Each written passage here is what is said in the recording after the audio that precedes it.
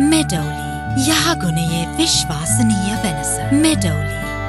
වගේම ඔබතුමාට විවේචනයක් තියෙන ඔබතුමා ලක්ෂ 25ක වැටුපක් ගන්නවා වගේම විශ්‍රාම වැටුපක් ගන්නවා ජාත්‍යන්තර මූල්‍ය අරමුදලින් ඔබතුමා කාලයක් ඒක සේවය කළා මම වගකීමෙන් කියන්නේ පළවෙනිම ඒක සම්පූර්ණම අසත්‍යයක්. මට ජාත්‍යන්තර මූල්‍ය අරමුදලින් කිසිම විශ්‍රාම වැටුපක් ලැබෙන්නේ නැහැ. දෙවෙනි කාරණය මට ලක්ෂ 25ක වැටුපක් ලැබුණා කියන කතාව සම්පූර්ණයෙන්ම බොරුවක්. මහ බැංකුව අධිපති වශයෙන් මට ලැබෙන වැටුප මාසිකට ලක්ෂ 4යි.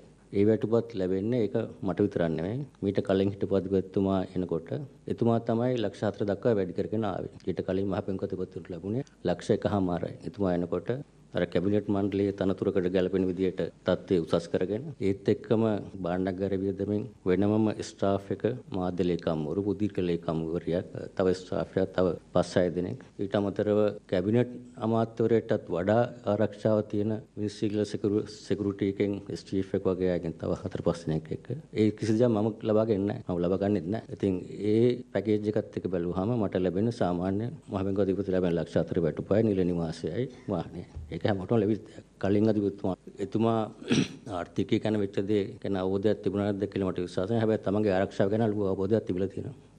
ඒ වගේ ආරක්ෂාවක් යොදාගෙන අධිපතිකමට එනකොටම ආයේ යම්කිසි හොඳ අවබෝධයක් තිබෙන්නේ නැති තමන් ඔය වගේ ආරක්ෂාවක් ඕන කියලා මේ තනතුර ගන්නකොට මට නම් එහෙම ආරක්ෂාවක් අවශ්‍ය නැහැ. මම මේ කෙටි කාලයක් වැඩ කරයි මහ බැංකුව අධිපති විදියට. නමුත් මගේ බලාපොරොත්තුවක් නැහැ මම කෙටි කාලේ අධිපති විදියට විශ්‍රාම පිටුවක් ගන්න මම කිසිම බලාපොරොත්තුවක් නැහැ. ලැබුණොත් මම ඒක ප්‍රතික්ෂේප කරනවා කියලා මම අද විශ්වාසයෙන් සහ සාතිකව කියනවා. හිටපති හොඳ පොතක් ගහලා තියෙනවා ඒකේ මටත් යෝජනා කළා තියෙනවා. ඉතින් මට කියන්න තියෙන්නේ මේ මම සාමාන්‍යයෙන් ප්‍රතිචාර දක්වන්නේ ඒ යම්කිසි චෝදනාවක් යම්කිසි වටිනාකමක් තියෙනවා නම් විතරයි. මම දැකලා තියෙනවා සෝෂල් මීඩියා එකේ පොත ගැන එක බැනර්ස් දාලා තියෙනවානේ. මම පොත කියවලා නැහැ. මේ ඒක එකම දේ මම කියවන්න කැමති ෆන් එකට එන්ජොයි කරන්නේ. ඒ බැනර් එක දැම්මහම ඊට යටින් තියෙන කමෙන්ට්ස් ටික බැලුවාම 100ක් 200ක් ඒ ටික ඇති පොත කියවන්න අවශ්‍ය වෙන්නේ නැහැ. අදිපතුමා එනවාට මේ ඔබතුමා බිලියන 10ක් විතර ලැබෙන්න පෙනිපෙනි තිබියදී රට රිපෝට් කරා කියලා කියනවනේ. නෑ ඉතින් මෙහෙමයි ඉතින් මේ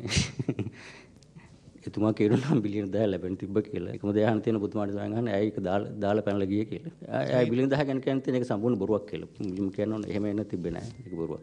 රටේ ආර්ථිකය යම් කිසාක වර්ධනය කරනකොට සංචි මුදල් වැඩි වෙනවා. ඒක ඕනට වඩා වැඩි වුණොත් තමයි අර ඕනට වැඩි මුදල් අච්චු ගහලා කියලා යම් කිසි ආකාරයක කෙනෙක්ට චෝදනා කරන්න පුළුවන්. 2020 වර්ෂය ඇතුළත සංචිත මුදල් වැඩිලා තියෙන්නේ බිලියන 31කින්. 2021 වර්ෂය තුළ සංචිත මුදල් වැඩිලා තියෙනවා බිලියන 341කින්. එතකොට 2022 මේ වෙනකන් සංචිත මුදල් වැඩිලා තියෙන්නේ බිලියන 47කින්. ඒකෙන් පෙන්නේ මුදල් අච්චු ගැසීමේ යම් කිසි ප්‍රමාණයක් පහු කාලේ සිද්ධ වුණාද ඒ ප්‍රමාණය යම් කිසි ආකාරයකට සෑහෙන දුර පාලනය කරලා තියෙනවා මේ දැඩි මුදල් ප්‍රතිපත්තිය පොලි අනුපාතය වැඩි ඉතිවා ගැනීම තුලින් තමයි ඒක කරලා